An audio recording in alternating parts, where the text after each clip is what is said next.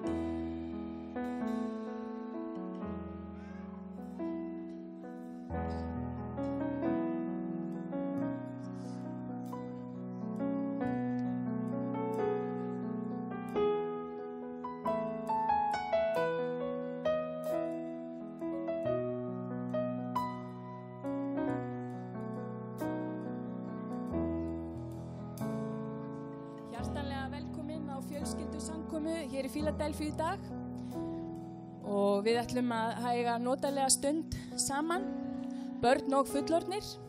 Við erum búin að setja upp hér brúðuleikús. Við ætlum að, ég ætla að fá okkur til þess að standa upp og syngja og dansa. Veit ykkur líst vel á það. Sé það, allir vaknaðir það ekki?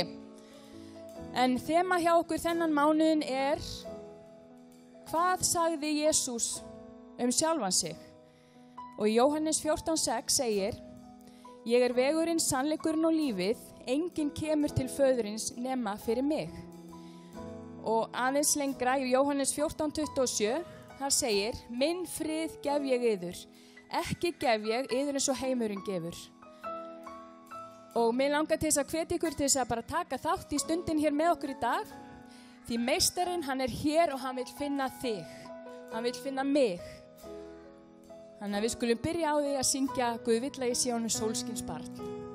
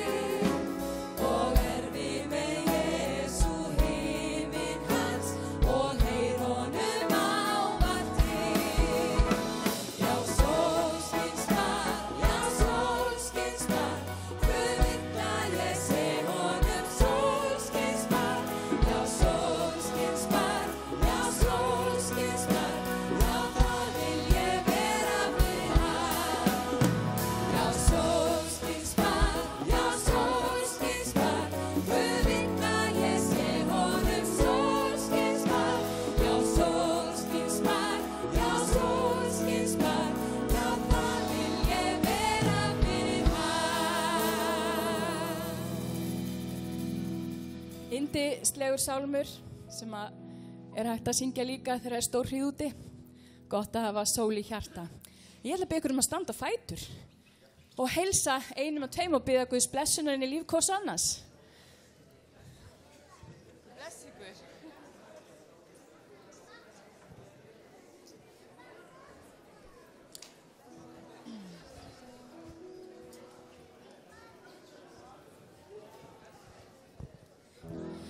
Næsta lag, það eiga allir að þekkja. Þetta er eitt af svona góðum barnamótslögum og ég veit þetta líka sungi hér niðri í, í barnastarfinu og ég ætla að byggja ykkur um öllum að taka þátt og þá enginn að vera þurfa að vera feimin.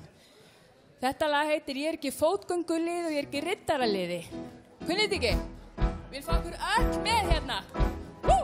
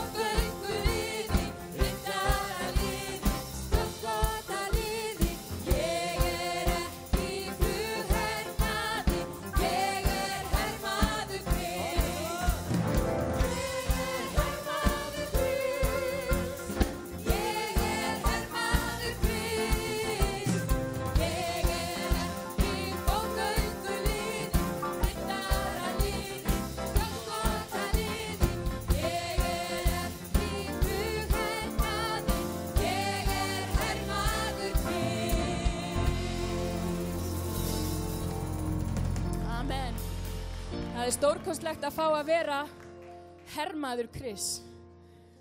Við getum gert allt ef við erum í liðinu hans Guðs. En það verður tilkynningar. Ég ætla að minna á kaffi hér eftir samkomuna. Uh, Það eru örugglega mikið að gerast í kirkjunni framöndan. Bara eins og alltaf. Ég er ekki með neitt niður skrifað. Já, ég ætla að minna það. Ramis helgi, ekki núna, heldur næstu helgi. 20.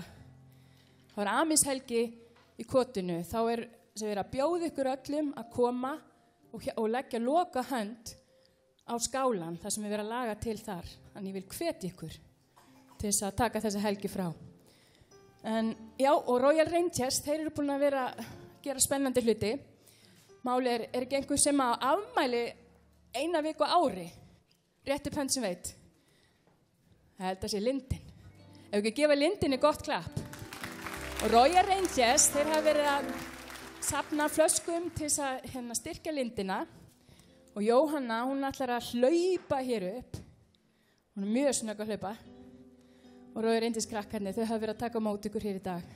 Er þetta ekki frábært? Gefum þessu starfi rosalega gott klapp.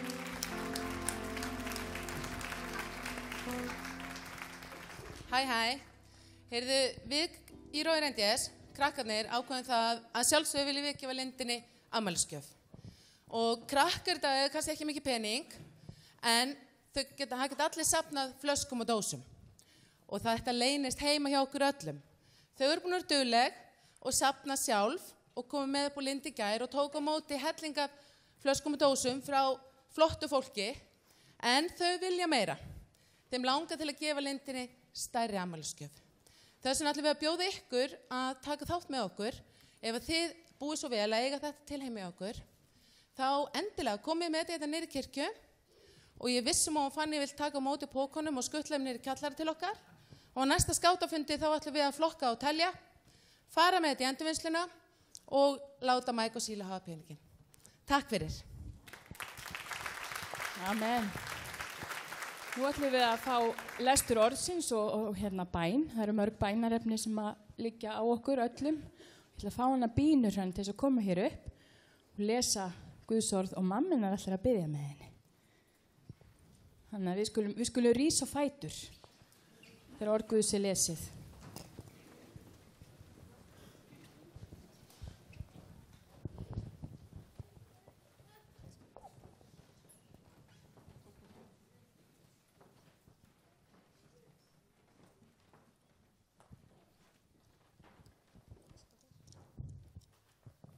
Hæ, ég ætla að lesa úr Mattius 19, 13. til 15. vers.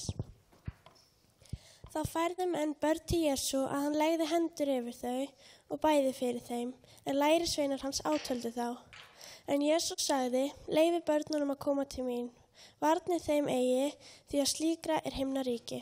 Og hann legði hendur yfir þau og fór þaðan. Við skulum byggja saman og ég held við ættum kannski að leggja bara mikla áherslu á það að byggja fyrir börnunum okkar bara börnum þessi lands.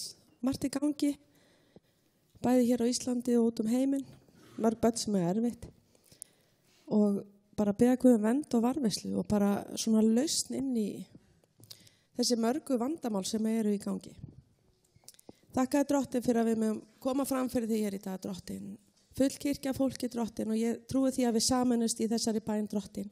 Fyrir börnum okkar, börnum þessa lands drottin minn og úlingunum drottin minn.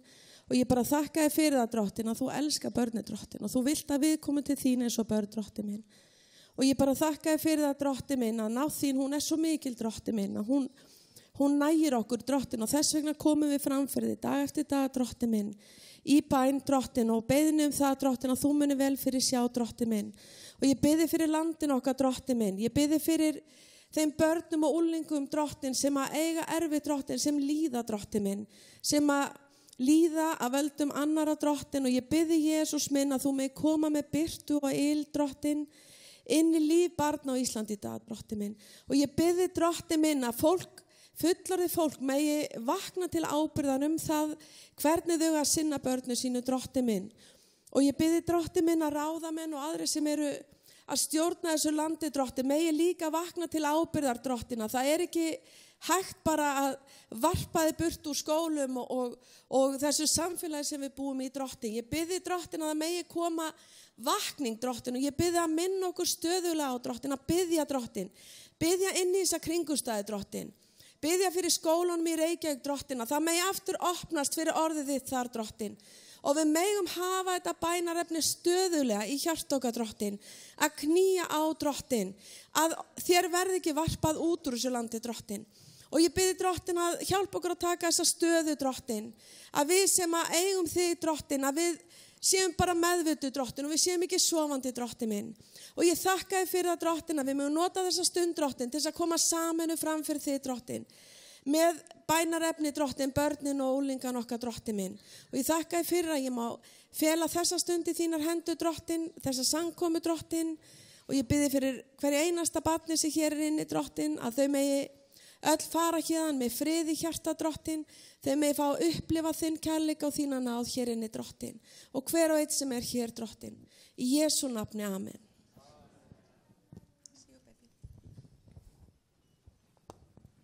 Takk fyrir þetta. Næst ætlum við að taka fórn og ég ætla að fá hana Signi til þess að koma hinga upp og tala og þið megið setjast núna, gjör þið svo vel. Voru hann þreytta á að standa? Þið fóðu að standa upp aftur og eftir. Signi mín kontu, hlaupandi og fagnandi.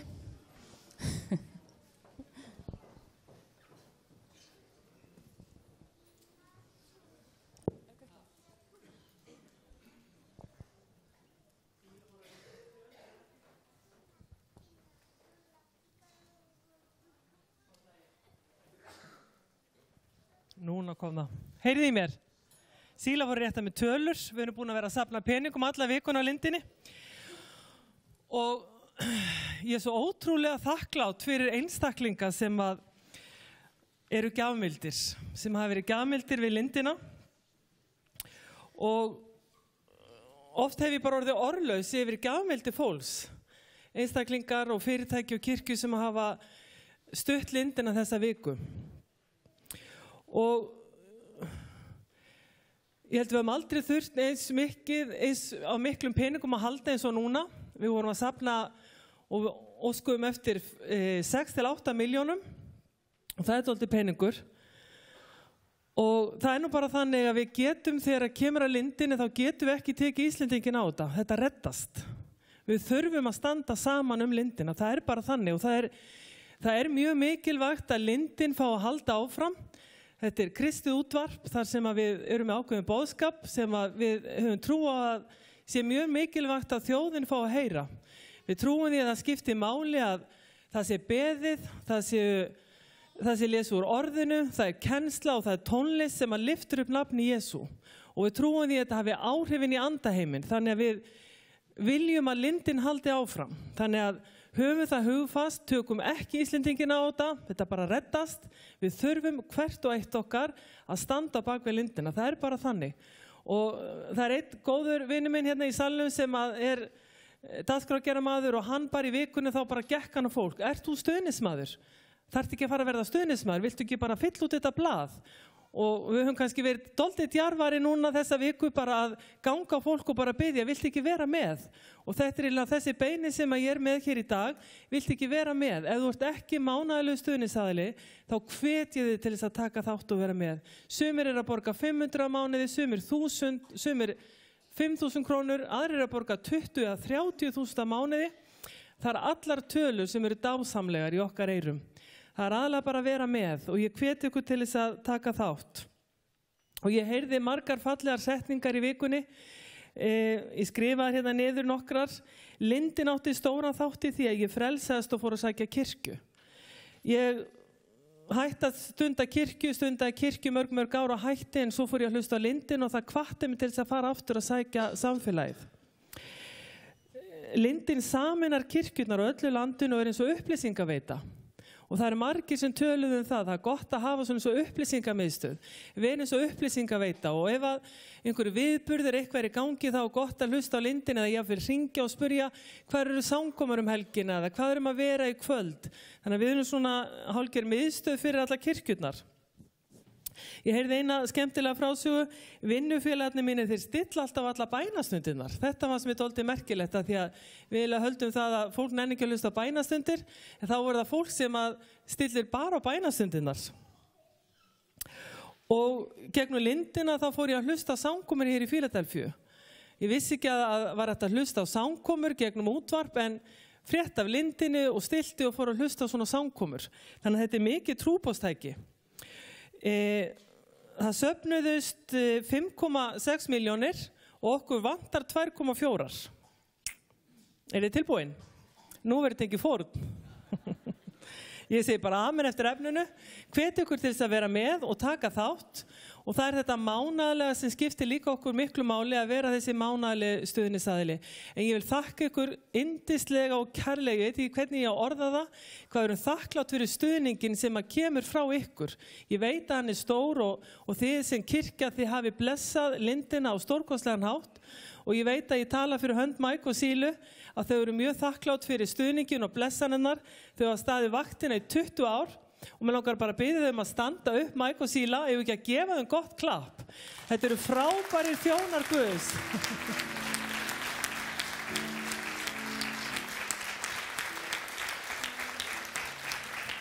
Þau eru yndislega og það eru forréttindi að fá að, að vinna með slíkum trúbóðum og fólk sem hefur þetta hjartaka hvert Guði og þess að þrá að þjóna Guði.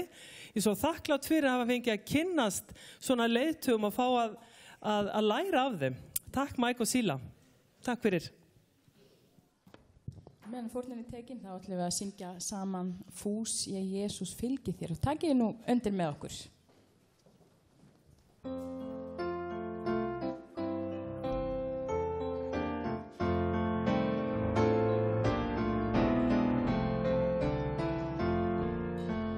Fús ég Jésu fylgi þér, fyrsta kallið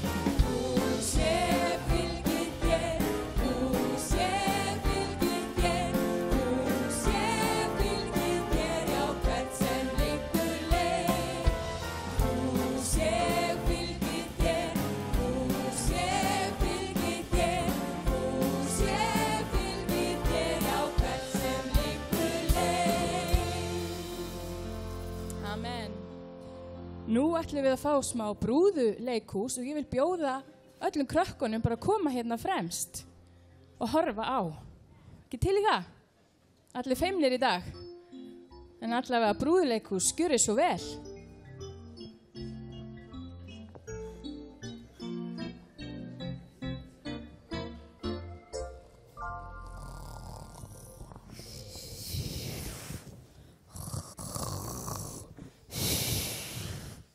Þetta verður gaman. Já, ég svo spenntur, mér finnst þið svíum á skýi. En þú ert á skíi.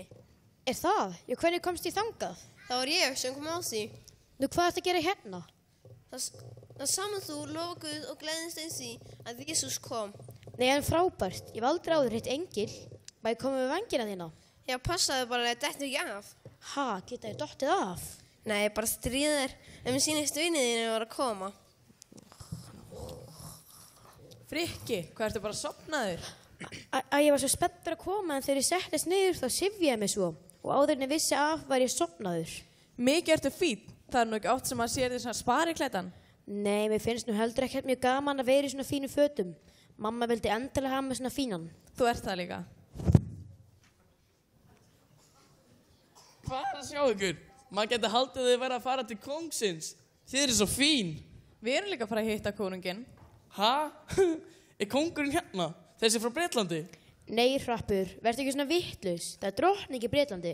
Hún er að tala um konung konunguna, sjálfan Jésu. Hann er hér mitt á meðal okkar. Fæ ég þá loksins að hitta hann? Hvar er hann? Ég ætla að byggja hann um eiginhand áriðin og segja hann um hvað hann mér langar í jólagjöf. Gat það verið, þú hugsar bara um sjálfan þig. Hvað? Hrappur, Jésús er hér að því við erum hér út á honum. Þó við sjáum hann ekki, þar segir biblían að hann er það sem tveir eða þrýr koma saman í hans nafni. Fæ ég þá loksins að hitta hann? Hvar er hann? Nei, bú. það væri svolítið frábært að fá að hitta hann. Hei, vitið þið hvað? En þið komið þá sopnaði ég næstu því að þið þið voru svo lengi á leiðinni. Þá, þá kom engil til mín. Næstu því, þú varst nú bara að vakna þegar ég kom. Ok, þú rítið mér að hafa dreymt það. En hann var hérna á skýi með þess að og hann segði að hann var komin til að lofa Guð alveg svo við. Kanski er hann hérna í álunni. Kanski var þetta ekki bara draumur. Það gerir stundum. Vá, hvað ég vildi að ég fá að hitta engil. En til hvers koma þeir? Já, eins og það sagðir, það sagðist að vera að koma til að lofa Guð eins og við. Sennilega var hann bara að minna okkur á að Jésús er hér mitt á meðal okkar og við erum að lofa hann. Vá, þá ætla ég sko að syngja með núna. Fyrst hann er hérna hjá okkur. Já, flott. Þá er ég ekki bara eini strákun að syngja þessu stundum. Já, svo getum við líka dansað fyrir hann eða bara lift upp höndum. Það er hægt að lofa Guð á margan hátt með eiginlega öllu sem við gerum ef við gerum það eins og við séum að gera það fyrir Guð en ekki menn. Get ég þá verið að lofa Guð þegar ég er að teikna í skólanum? Ég er nefnilega rosa góður að teikna. Já, Guð vil að nota þér gafir sem hann gefur okkur til góðs og við vöndum okkur. Þá ætla ég sko að vera rosa góður söngvari. Mér finnst svo gaman að syngja. Heyrðu, samkomin er að byrja og við erum bara að spjalla ef við ekki að fara að lofa Guð. Jú, Jú, gerum það, það hættum þessu blæðri.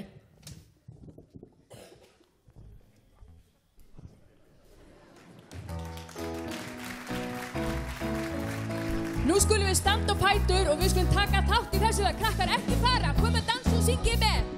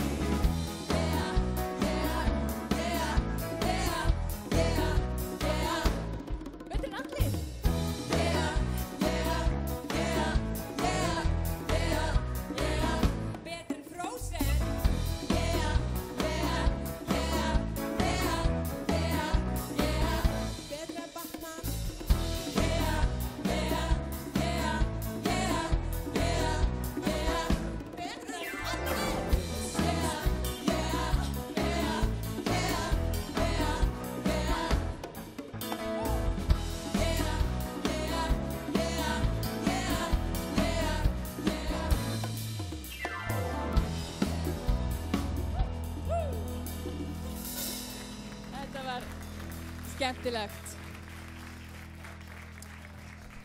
Ekki fara alveg strax krakkar, því nú ætlum við að fara í smá minnisvössaleik. Fullöldum með að setjast niður og ég ætla að beða hana Siggu um að koma inn og hjálpa mér.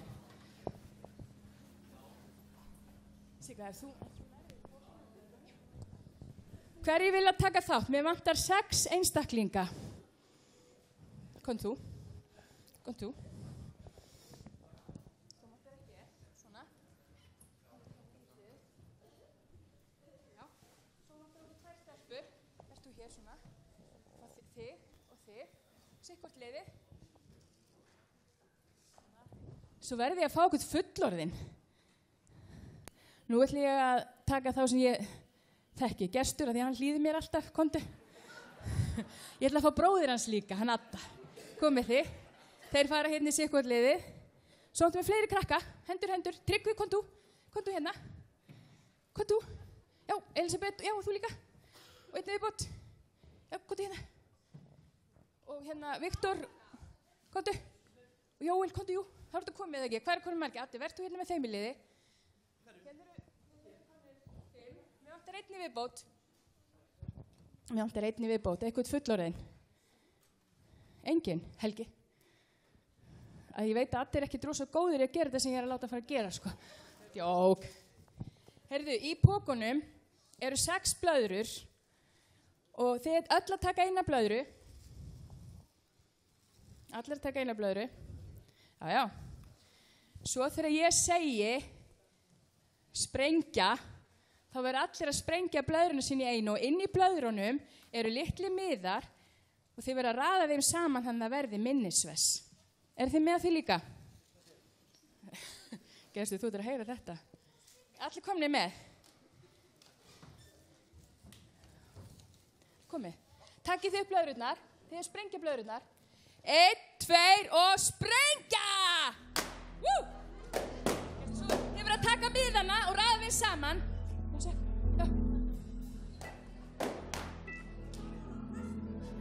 Hérna einn miði, að hjálpa. Hú, Hérna miði, sjá, láta hana með. Gjöstu, vinna miðanir. Viktor, ræðið saman orðinu. Það, ef ekki að klappa fyrir þeim, koma svo stemmingu hérna, koma. Áfram, ekki að gerast. Við eftir að sprengja eina. Ha, koma svo. Er það komið? Hver er að vinna hérna? Er það Helgi og lærisveitin eða gestur og lærisveitin?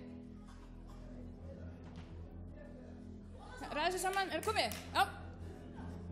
Helgi er betri, nei, leifið börnunum að koma til mín. Rétt. Við skulum gefa þeim gott klapp hérna.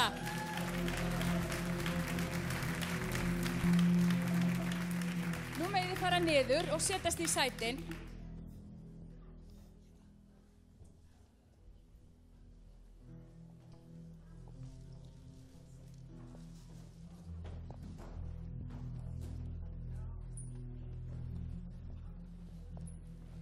Og áður en að Helgi kemur hérna upp og ætlar að tala til okkar, þá skulum við syngja eins meira saman.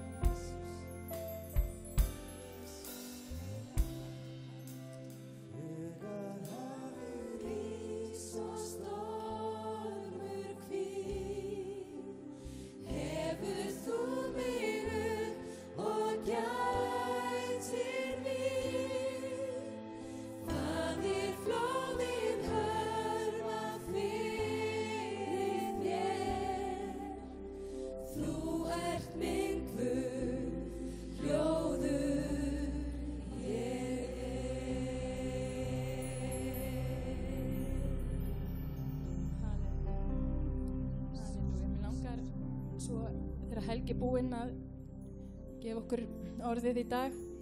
Langar mig að hvetja ykkur fjölskyldur, ömmur, afar, pappar, mömmur, börn, frængur og frændur, bara velunnar, að koma saman fram til fyrirbæna. Það er rosalega mikilvægt og það er mikil blessun sem fylgir því að fá fyrirbæn. Takk. Ég ætla bara að tala alveg örstutt af því að ég veit að fullotnir hafa minna aðteklisban en fyrir 50 árum, hvað þá börn? Meðan að allir eru ennþá í rókir. Það er hérna, við erum að tala um Jésu, við erum að heyra orð Jésu í dag, það sem segir leifið börnunum að koma til mín, varnið þeim eigi því að slíkara er Guðs ríkið. Jésús var mikilvægur og hann var frægur maður og hann gekk um og það fylgdi honum mannfjöldi og svo þegar hann kom eitthvað og fólk fór að koma með börn til hans að þá hugsaðu lærisöndir nei það sem við erum að gera er allt og mikilvægt það er allt og mikilvægt að þetta er allt og fínt sem við erum að gera eins og stundum á kannski svona samkomu þess að kannski finnst fólki ekki að hæfa þessu börn lappandum með að þau séu að trubla en Jésús saði þvert öfugt Jésús saði nei leifi þeim að koma ekki varna þeim því að við getum lært af þeim. Þau hefur eitthvað að gefa okkur. Og við þurfum að læra að taka við Guðsríkinu eins og börn. Læra að vera jafn einlæg og börnin læra að, að treysta eins og börnin og læra að vera jafn hrekklaus og börnin og það er eitt sem að kemur fram í, í hérna, Mósebókunum aftur og aftur þegar Guð er búin að leiða Ísraels þjóðana út úr Egiptalandi og Guð segir í rauninni það er ekki nóg að þetta gerist bara einu sinni. Það er ekki nóg bara ég leiði ykkur út úr Egiptalandi og, og svo breytist ekkert. Ef þetta á að halda áfram þá verður að kenna næstu kynsluð þau verða að fá að læra af ykkar reynslu. Þau verða að fá að vera hlutakendur í, í þessu. Viltu fá glasið? Og hérna, og aftur og aftur í Ísælsmönu sagt, sko, kenniði börnunum ykkar þegar þið eruð heima, þegar þið eru á agrinum, þegar þið eruð í tjaldi, þegar þið eru á ferðalagi, hvar sem þið eruð, setjist niður með þeim og kenniði þeim. Deiliði með þeim af reynslikar, segiði þeim frá því hver Guð er, kenniði þeim að byggja, kenniði þeim hvert þau að leita, þau standa fram fyrir erfiðum kringustöðum. Og það besta sem við gerum, það er að kenna með góðu fordæmi. Þú mátt alveg skoða þetta glas, það er, það, það er ekki mjög brotætt. Og hérna, þar er við kennum með því sem við gerum. Og þess vegna langar okkur núna eftir að bjóða fram til fyrirbeinar, því að það er rosalega mikilvægt. Það, það er enginn sem lærir að byggja bara sjálfur. Við lærum mest að byggja með því að byggja með einhverjum öðrum. Og að byggja saman er auðvitað það sterkasta sem við getum gert. Að lesa saman biblíusögu og tala um hana, eða lesa saman eitt vers og byggja saman, það gerir miklu meira heldur en nokkuð predikun fyrir næstu kynsluð. Þannig með okkur langar til að, hvetja okkur öll og þess vegna viljum við hafa þessar fjölskyldu samkomur til að kynsluðirnar séu saman. Við þurfum hvert og öðru að halda og til að líka bara að upphefja þetta mikilvægt hlutverk sem við höfum. Það er að, að næsta kynsluð fá eignast það sem við höfum eignast. Við höfum stundum áhugjur af því að, að, hérna, að hvaða áhrifum börnum verða fyrir, hvort það er teiknumindir eða í skólanum eða, eða hvað sem er. En vitið það, það er engin áhrifavaldur, jafn sterkur og heimilið. Það er ekkert sem hefur jafn mikil áhrif á börnun okkar og hvernig við sem erum foreldrar högum okkur. Ekki endla hvað við segjum við börnun okkar, heldur það sem þau sjá okkur gera. Þannig ég hef ekkert rosalega áhugjur af því, ég veit alveg að þó svo að, að kannski eins og núna beði fyrir hérna áðan að Gídeon með ekki gefa nýja testamentið í skólum, Vita, ég held að það hefur miklu meira áhrif á börni mín ef þau sjá mig lesa biblíuna heldur hvort þau fá að eignast hana í skólanum eða ekki. Það hefur miklu meira fyrir börni mín að segja. Ég og þú, við höfum miklu meiri áhrif en við gerum okkur grein fyrir, nótum þau til góðs. Það er kvartning okkar til, til okkar allra hér í dag. Ég ætla ekki að hafa þetta lengra í byli. Ég er ekki að setja þrýsti gangur að verði allir að koma fram. Ef ykkur langar til að koma fram og, og byggja saman, þá er það algjörlega velkomið. Þið getur líka bara beðið þar sem þið eruð í sætunum ykkar. En ef þið eru í dag og fjölskyldur eru alls konar. Vitið, það, getur verið hérna afar ömmur og barnabörn eða frændur og frængur eða bara góðir vinir. Vitið. Fjölskyldur eru alls konar. Og, hérna, og við höfum áhrif á fullt af, af af hérna, fólki kringum okkur og þetta snýst svolítið um næstu kynslu. Ég er að hugsa að það eru einhverjir inni sem kannski eigi ekki börn en er ekki hjónabandi. Við höfum alltaf áhrif. Við tilherum svona tengslanetti. Notum áhrifin til góðs. Amen. Skulum enda á því að byggja saman og svo kemur tónlistin aftur og, og það verður bóðið fram til fyrirbænar fyrir það sem vilja og síðan veit ég að það er veglegt kaffi niðri. Eftir allan að ég hef heimildir fyrir því, ég vona að það er standist. Skulum byggja saman. Drottin minn, ég þakka þér fyrir að þú ert ekki of upptekinn fyrir okkur. Ég þakka þér Jésús að þú ert aldrei of upptekinn og það er enginn sem er ekki nógu mikilvægur til að fá aðtegli þína. Og ég þakka þér Jésús að þú stoppaðir á þinni stuttu dvöl á jörðinni, þinni stuttu þjónustu drottin, að þá tókstu þér tíma til að staldra við og blessa börnin. Þú gafst þér tíma til að staldra við og eigða tíma með þeim og lefðir þeim að trubla þessa daglegu rútínu. Og ég byrði um að Jésús hjálpaði okkur að læra af þér.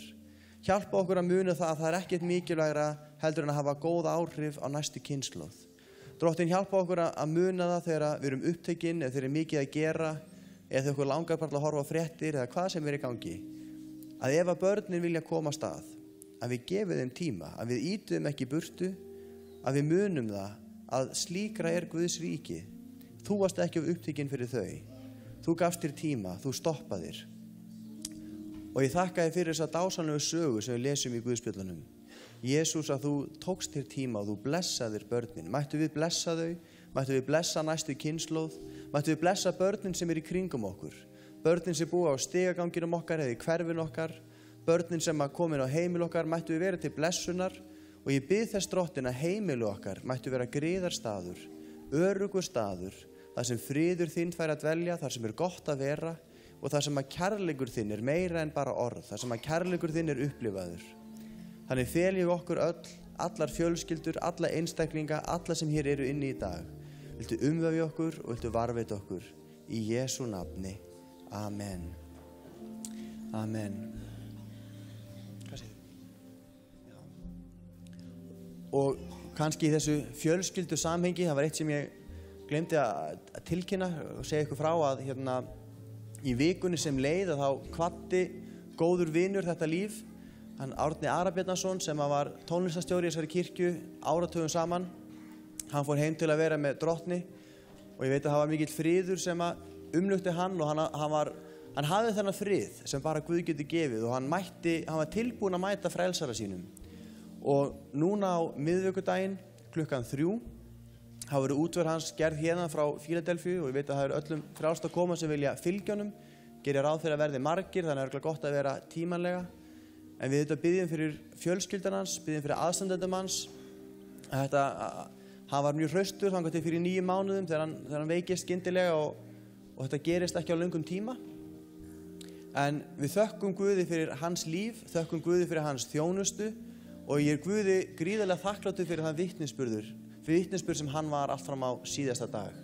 Og þá kannski reynir á að við líka séum fjölskylda og við, þegar einhver á meðal okkar verður fyrir missi eða áfalli að við, við pössum okkur að hlúa vel að sérstaklega við sem kannski eigum vinatengsl. En við til láta ykkur vita. Og svo var útför hérna á föstudaginn hún Þurriður Bjarnadóttir sem margir þekkja, hún fór líka til að vera með drottni og tilbúin að mæta frelsanum sínum og útför hennar fór fram hérna frá kirkjunni bara föstudaginn sem leið.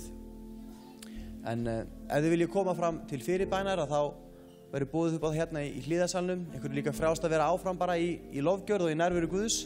Og svo hittust við hérna niður í kaffi á eftir. Amen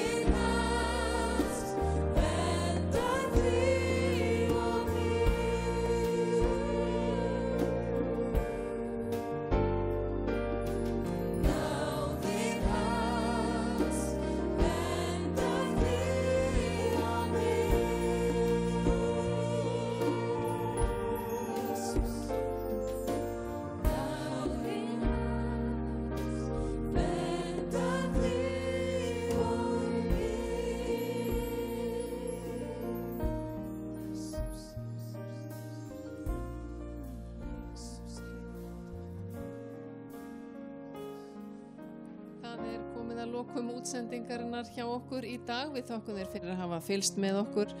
Eh, við, var lesið úr eh, biblíunni leifið börnunum að koma til mín og eh, það skiptir ekki máli hversu gamall eða gömul þú ert. Jésús rekur engan frá sér sem til hans leitar. Hann þekkir kringum stæður þínar, hann þekkir byrðarna sem þú berð, hann þekkir hamagangin, hann þekkir bara dagana sem geta fært okkur alls konar hluti og Jésús vill að þú komir til hans og hann vill hjálpa þér á hverjum einasta degi. Byttu með mér núna eitt andartak. Ég ætla að byggja Guð um að mæta þér á sérstakann hátt í dag.